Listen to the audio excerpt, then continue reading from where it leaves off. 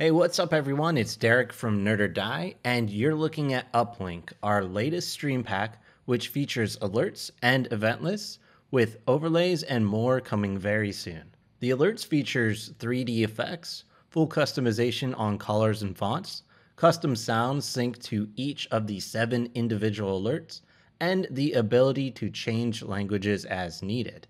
The event list lets you change colors, fonts, and opacities to help you fit this widget to your stream design. Uplink is available now in the Nerd or Die shop, and the event list and alerts work with Streamlabs, which supports Twitch, YouTube, and Mixer. In this video, we'll take a look at setting everything up and also how to use the options included. Please use the timestamps in the video description to jump around the video. One thing I want to quickly mention is that if you're using a lower end CPU, you may want to consider disabling the 3D effects included as this does tend to use more CPU and luckily this is pretty easy to do. Anyways, let's get right into it. Let's start with setting up the alerts. This can be done very quickly with our Streamlabs quick setup link. Once you've downloaded and unzipped the files, open up the alert folder.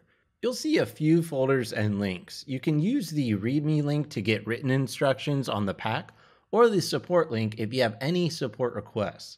We've included a folder with the sound files as well. Please note that these sound files are named based on the Twitch version of each alert.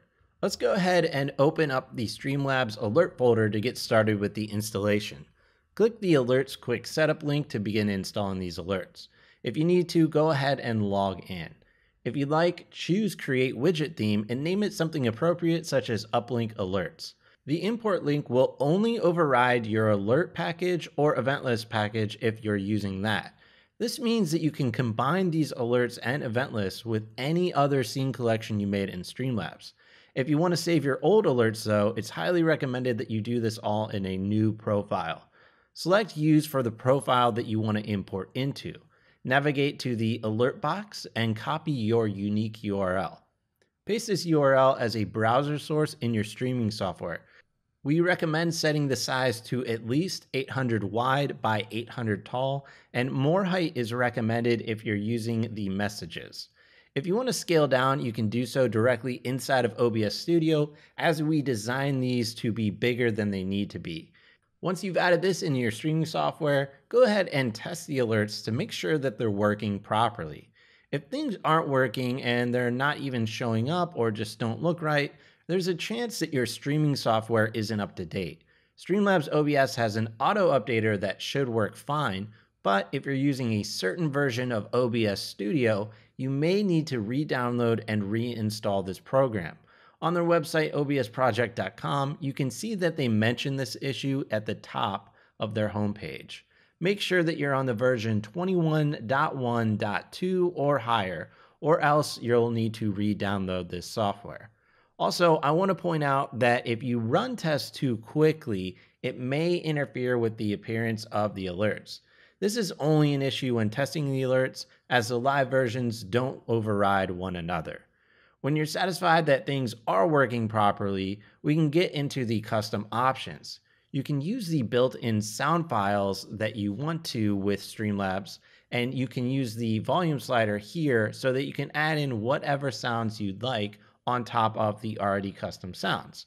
Also, if you want, you can use the user message as well per normal. We built in a ton of custom options, so let's start with the subscriber alert and take a look at the custom fields tab down here. The first option, do you want to clone the entire element or have it appear behind?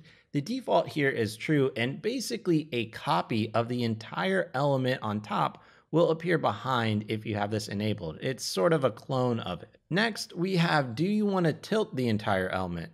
So note here that you should test this with your stream setup and even if you're live, maybe give it a test as it can use a decent amount of CPU. The default is true, and on my system, which is a mid-tier CPU, I see it jump about 4 to 5% during the alerts. With this disabled, it only jumps up about 2%, which is pretty standard for our alerts. So if you're struggling with system resources, we recommend disabling this. Next, we have the font, and this is basically the font family that will be used with the alerts. and then the font weight, which is the thickness for your font. However, not all fonts support multiple font weights, and our default here is 500.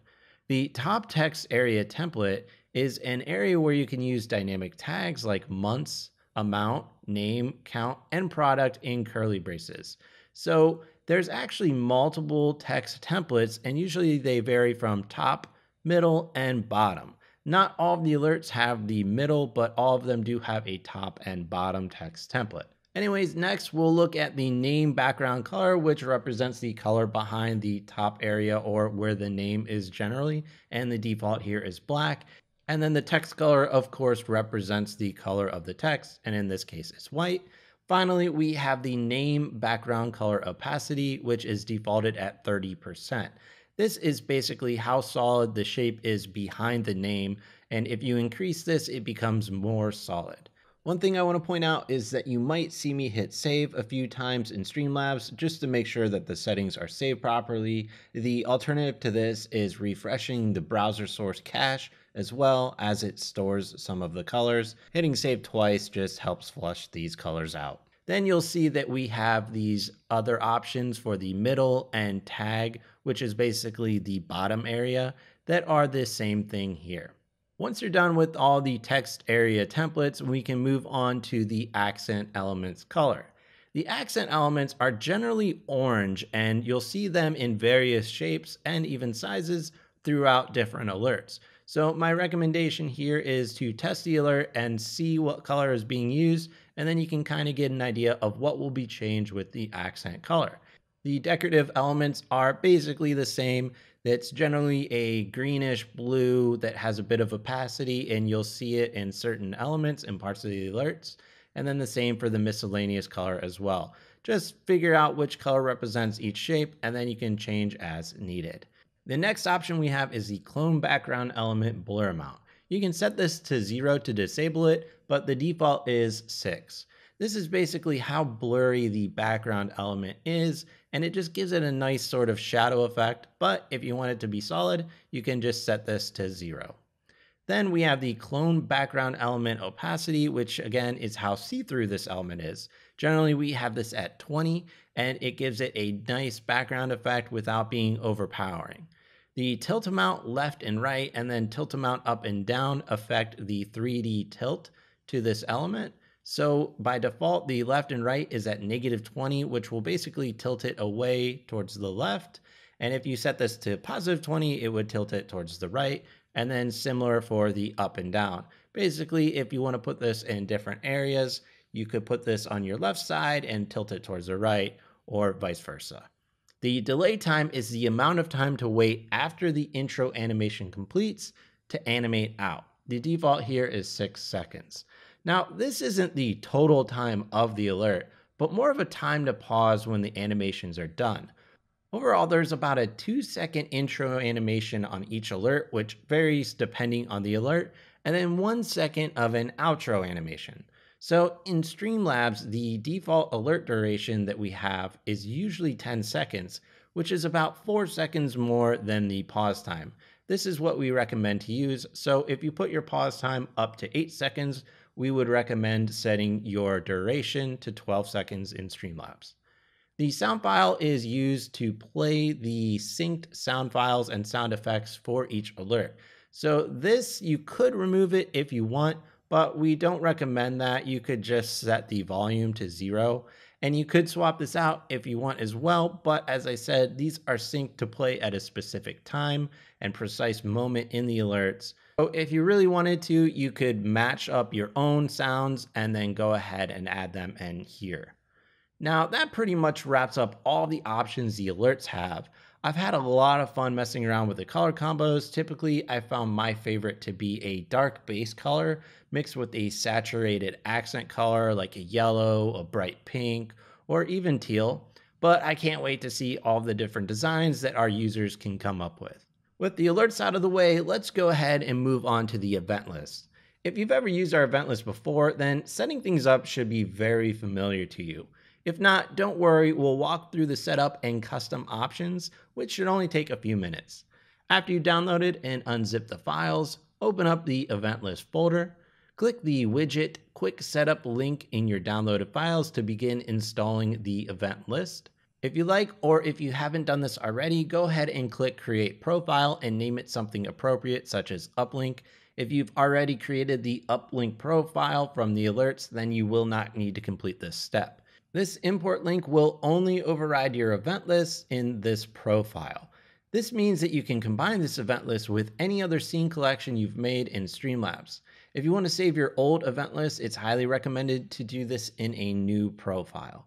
Select Use for the profile that you want to import into, and then navigate to the widget URL and copy your unique URL. You'll want to paste this URL in your browser source of your streaming software, and we recommend using a size of around 1000 by 1000 pixels.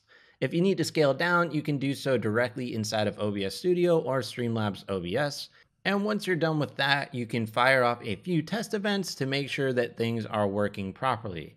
Now, if you see some errors in the preview area, don't worry about it. It's completely normal for things to not look 100% right here inside of Streamlabs, as the code that we use does not work in the preview section. However, this will work completely fine in OBS Studio, Streamlabs OBS, and your streaming software. You might see some things like blank spaces or even stacked events, but like I said, this won't happen in your live version. Anyways, let's get into customizing these events. First, we'll take a look at the Streamlabs base options. Theme and theme color will not have an effect on this widget, and then enable events will allow you to decide which events you want to display inside of the widget. The minimum options lets you set how many viewers for hosts, bits, or raids will trigger an event. Max event lets you decide how many events are displayed at once. Background color is only for preview purposes. The text color will have no effect on this widget. The font option allows you to pick the font family used in this event list. The default is Rajdhani. And then the animation and animation speed will have no effect on this widget. Fade time will hide the widget after X amount of seconds, where zero will always display the widget. Other options allows you to flip the widget. For example, enabling flip Y will make the events come from the bottom, and then flipping X will make them align and come from the right side.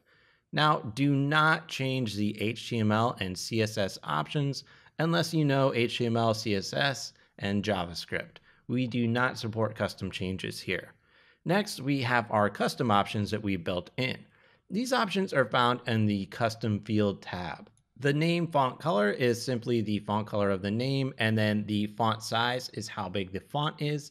And this also is for the tag as well, where we have the color and size. We included a separator, which has a font color as well, just in case you want to get a little creative with that. The font weight is the thickness for the font and the names, and not all fonts support multiple weights. The default we use is 500.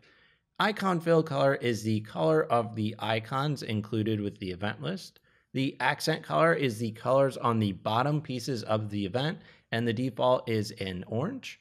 And the flash color is the color of the flash that appears at the beginning of the event. So if you watch it quickly, you'll see this quick flash, and we defaulted this to white. Again, you can change this to any color that you like. Background opacity is the opacity of the background gradient, which is typically around 50%. And then the gradient starting color is the first color on your background gradient. So if you're using the default version, this will be black.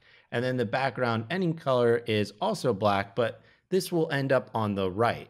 So if you change this to blue on the left and red on the right, which I don't recommend, but you could see that blue will go on the left and then have the red on the right where it fades out towards the red.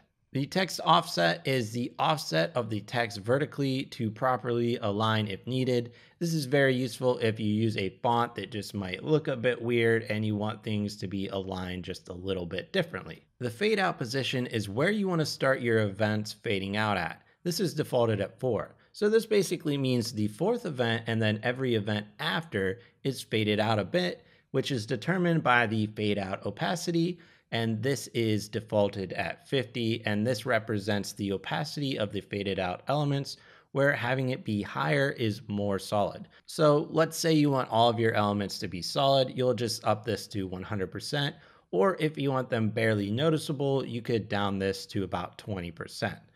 The final option here is the flash opacity, and this is the opacity of the flash that happens at the beginning of each event. You can set this to zero to disable it, but the default is 60. Once you're done checking out all the options, tweak them to your liking and hit save settings. Go ahead and test the events one more time, and like I said before, we recommend doing this in OBS Studio or Streamlabs OBS. With that, we're done setting up and customizing the uplink alert and event list. Let us know in the comments below if you have any questions about this. We'll be releasing the overlay pack in the next few days, so make sure to subscribe with notifications on so that you don't miss that. If you found this helpful, go ahead and leave a like. And as always, thanks for watching.